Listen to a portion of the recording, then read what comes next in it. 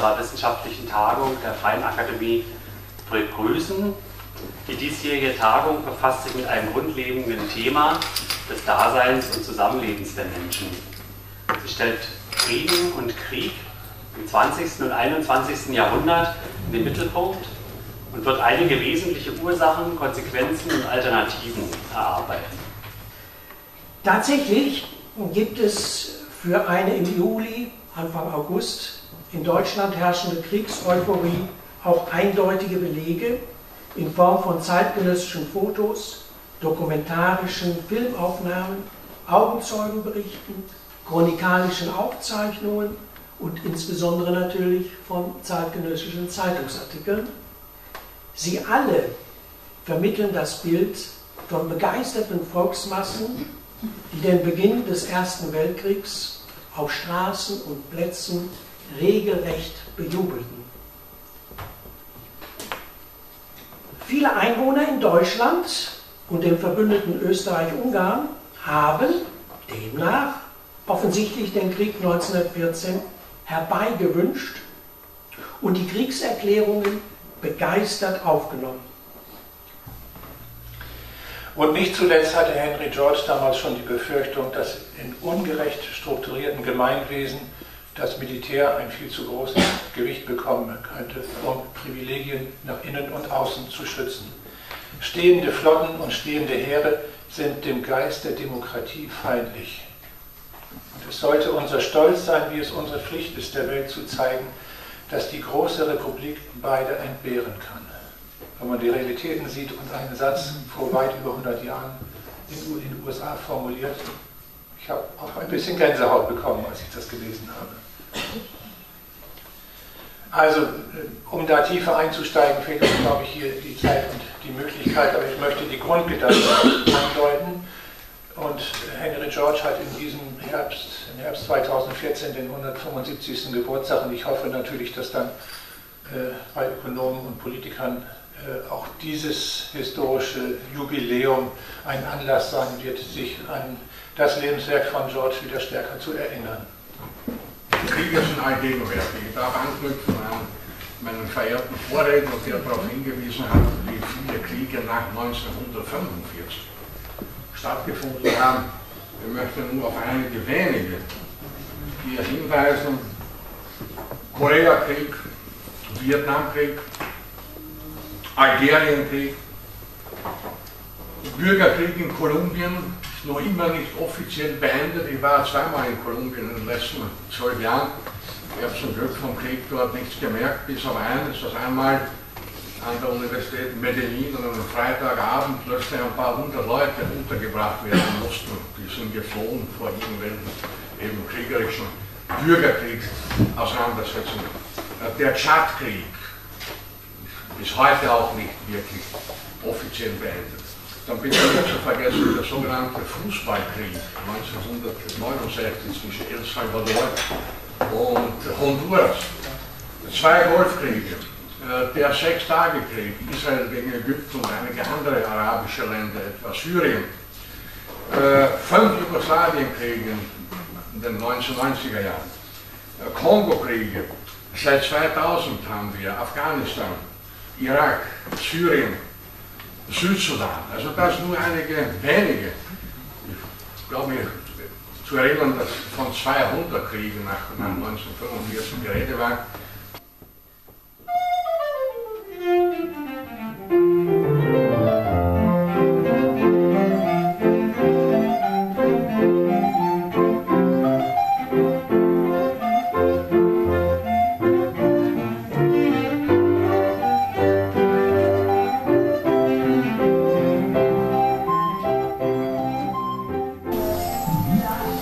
Hier sehen wir ein paar von Major.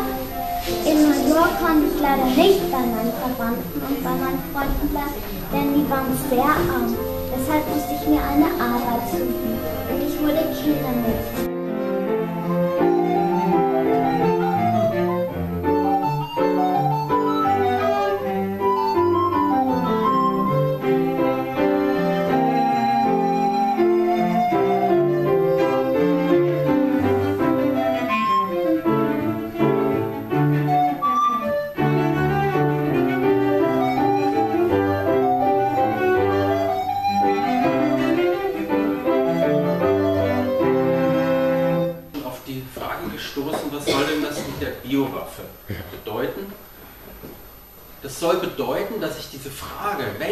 Rolle Kunst spielen kann, wenn es darum geht, ob wir uns für Krieg oder für Frieden entscheiden, aus biologischer Sicht beantworten möchte. Das ist mein Ansatz aus der Sicht der Biologie. Deshalb die Frage, ist es eine biologische Waffe, eine Biowaffe?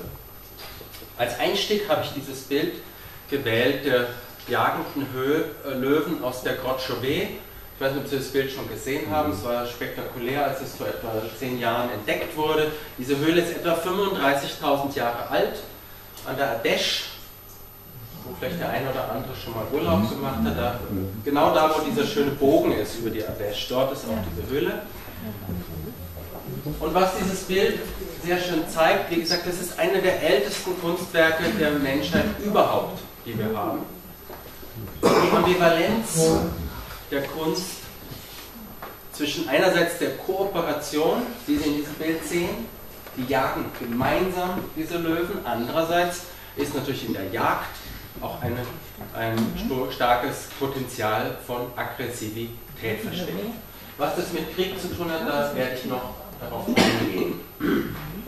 Also, wie wirkt denn jetzt Kunst im Sinne von Krieg oder Frieden? Die Antwort der Dadaisten, wir haben ja diese Konferenz ähm, aus Anlass des Beginns des Ersten Weltkriegs, war hier an dem Punkt relativ eindeutig. Eine ganz starke Desillusionierung. Hülsenbeck, einer der Dadaisten, schrieb später, wir hatten im Krieg, also im Ersten Weltkrieg, herausgefunden, dass Goethe und Schiller und die Schönheit auf Töten und Blutvergießen und Mord hinausliefen, das war für uns ein furchtbarer Schock. Es gibt, ich kann in jeder Stufe intervenieren und muss dann nur sozusagen mit anderen Methoden und mit einer anderen Sensibilität da auch rangehen. Das ist auch wieder die Frage, wie viel traut man sich zu und wie, wie sicher ist man da im Prozess und wen lässt man das dann machen. Dann gibt es Mediatoren, die sagen, es gibt eine Grenze für Mediation, wenn die Hierarchieunterschiede zu groß sind. Kann ich einen Konflikt mediieren zwischen einem Angestellten und einem äh, einem Chef beispielsweise. Ja, kann ich, also wenn, wenn die Abhängigkeitsverhältnisse zu, zu groß sind, kann ich, dann, kann ich dann eigentlich so einen Prozess noch medieren? Können die sich auf Augenhöhe treffen? Ist es realistisch, dass sie sich auf Augenhöhe treffen und was miteinander aushandeln?